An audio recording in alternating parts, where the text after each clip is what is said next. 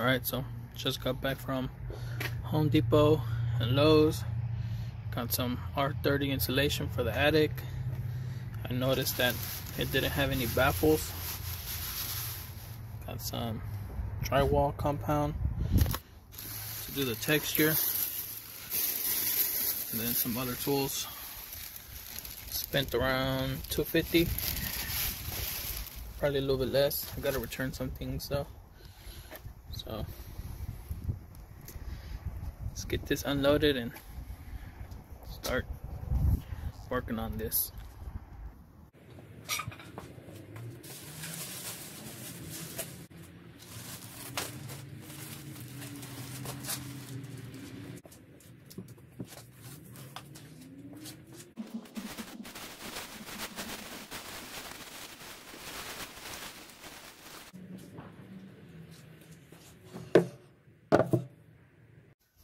Made a mistake up there.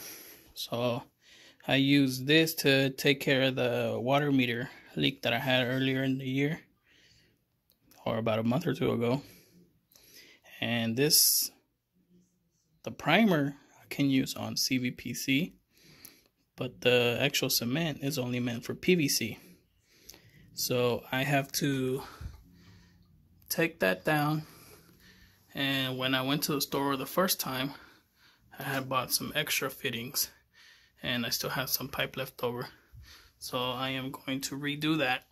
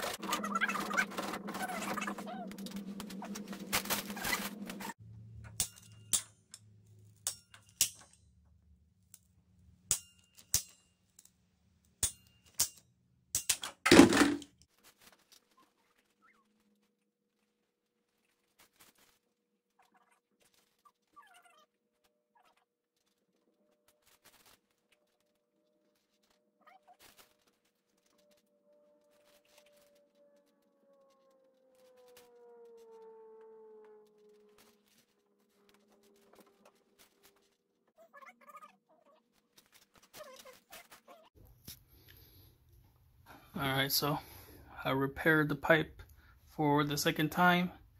This time with the correct CPVC cement.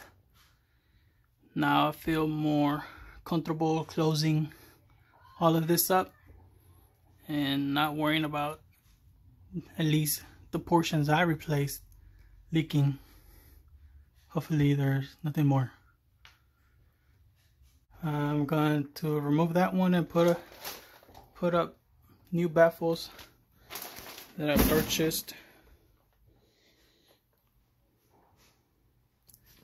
Since it's open might as well do it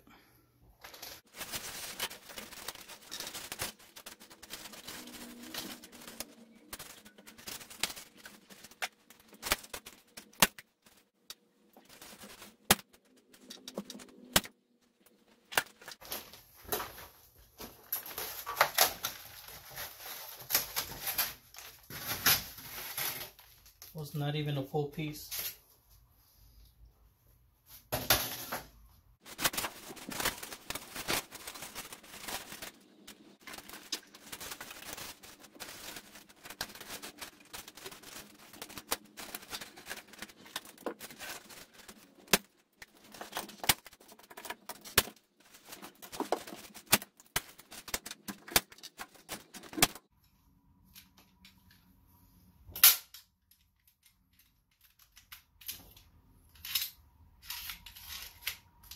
Ammo.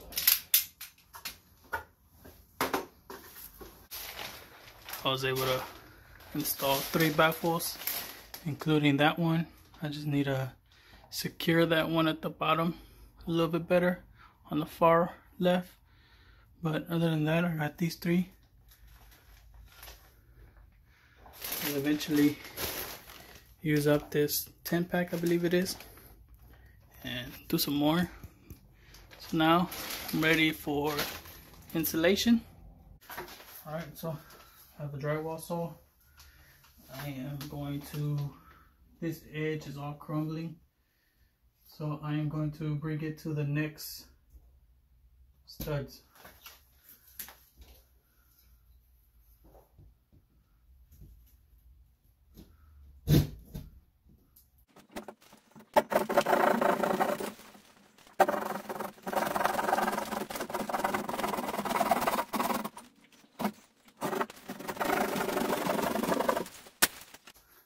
Get some drywall screws and support that.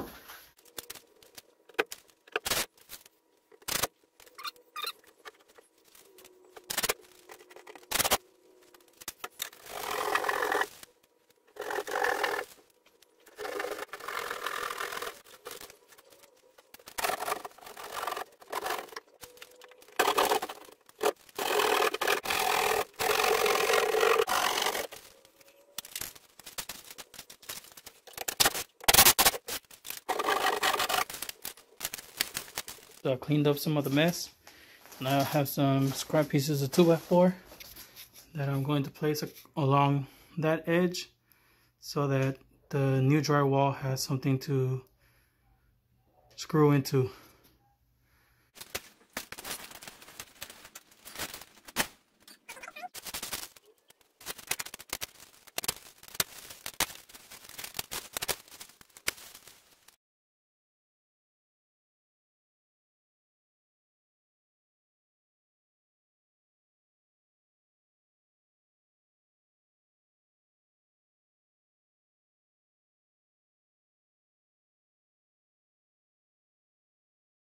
I have this portion insulated. I am going to leave it like that. I think I need to put one piece in this space, so I may do that now. And I think on that portion there. But I will leave it like that until I turn on the water. Make sure there's no leaks. And then I'll finish closing, closing this in and installing the drywall.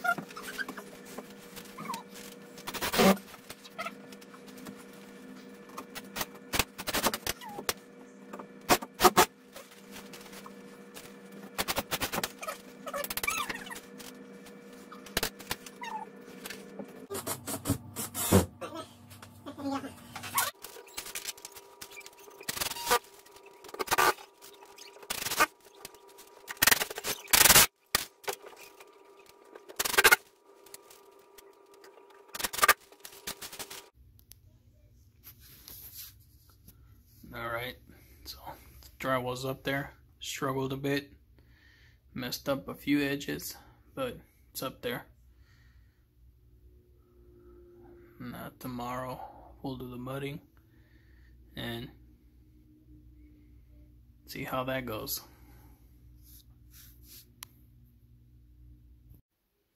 I'm just gonna apply this shellac based primer over the paper that way it can seal it and we could apply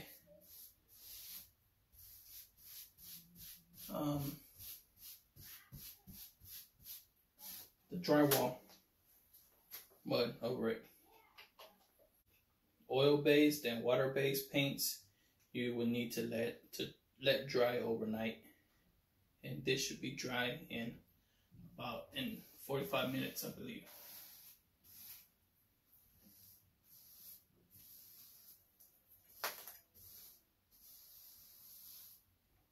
Gonna use this 20 pound, 20 minute mix for any of the large gaps. I have, I have paper and I have the mesh type. Got some water. Got my, just bought this, got this also. Get started.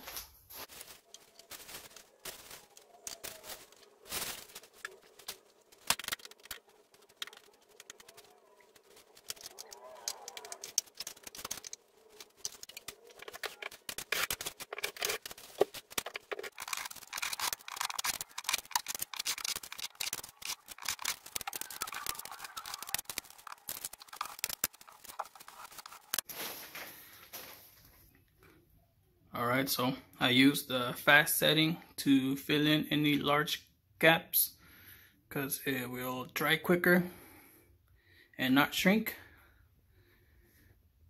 So, looks messy, but hopefully it'll look better with the texture. So now, I'm gonna use the all-purpose so I can let it dry overnight. Don't use that if you're a beginner, especially a 20 minute one. It dries really quick.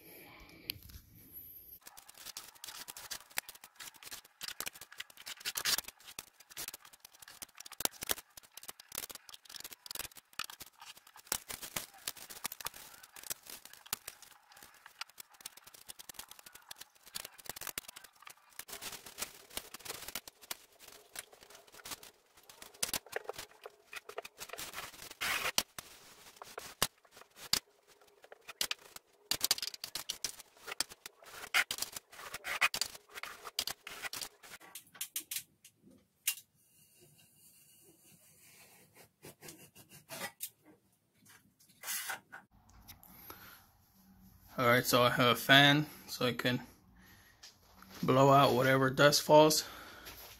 Have my sander on the pole. We're going to begin sanding some of these edges.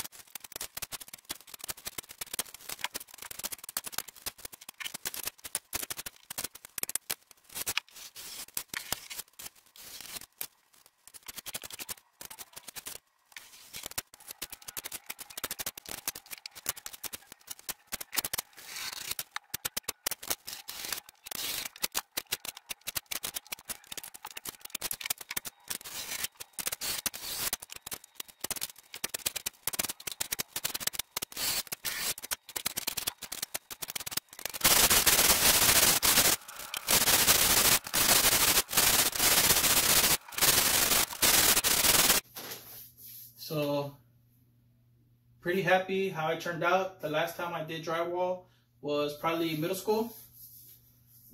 So we'll see how this texture looks. One thing you need to keep an eye on is the direction that they previously used on the texture brush. So as you can see here, the, the brush is going like this and not like that. So I have to go in that same direction when I do my patch. And hopefully when I'm done, you won't be able to see where the patch is.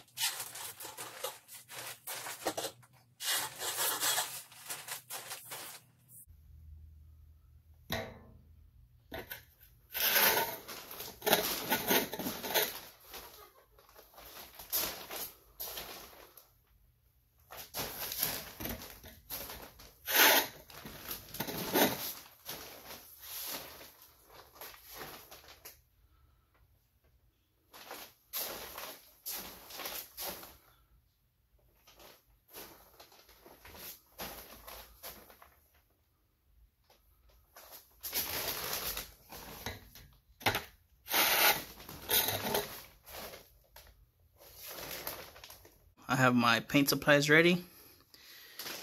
Got some paint prep. Ceiling fan is maxed off. The blinds, rolled them up. It's messed off also. So now, apply a sealer coat.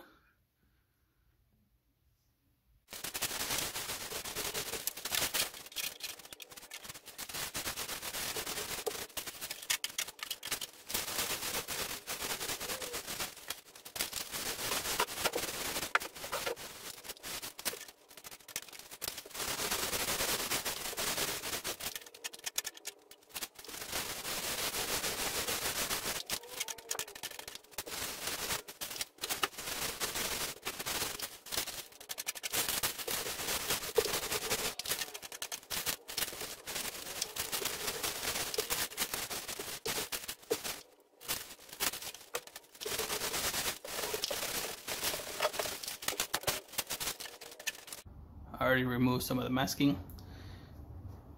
That I have placed.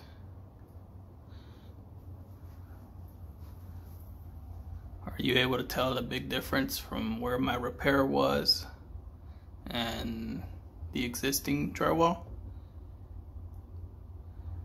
I know the paint sheen is a little bit different, so that might give it off where it is, but other than that, I'm pretty happy with the finished result.